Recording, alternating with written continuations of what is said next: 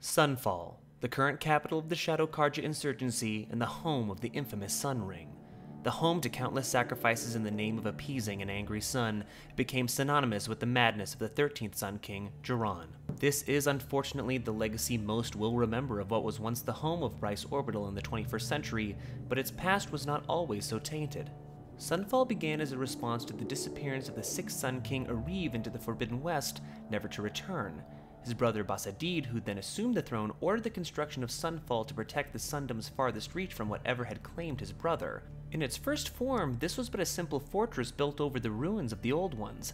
The only piece left untouched was the ring made of metal and two smooth gray stone. What scholars of the time believed was once a site of ancient rituals was converted into a training ground for the garrison occupying the fort.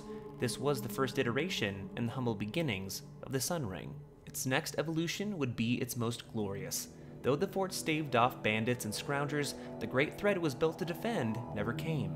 Over time, Sunfall itself was essentially forgotten until the reign of the 11th Sun King Marzid. Upon inspecting it, he saw a vision of an ornate citadel with a great polished dome that would catch all the rays of the sun.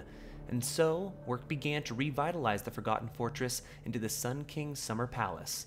Sunfall became a city unto itself, a home of art and culture, and so too was the Sun Ring. What was once but an open space for training was repurposed into the arena we see today, where blazons and hunters of the lodge would test their might against the machines in shows of pageantry and skill. Unfortunately, after the passing of Marzid, this era of prosperity would end in Sunfall. Under the rule of Hivas and his son Jiran, the Sundom would turn its focus to strengthening Carja military might, and the Sun Ring would be transformed into the accursed place we know it to be. This history of Sunfall was documented presumably by Carja historians over the centuries. However, one last detail found within the Collector's Edition game guide provides one more iteration of the Sun Ring's past.